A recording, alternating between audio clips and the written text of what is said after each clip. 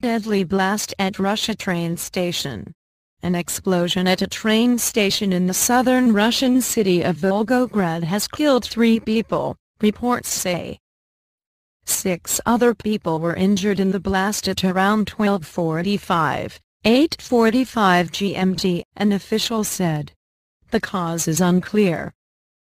A suspected female suicide bomber killed at least six people when she attacked a bus in the city in October.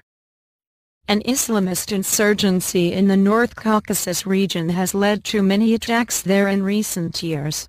Insurgents have also attacked big Russian towns.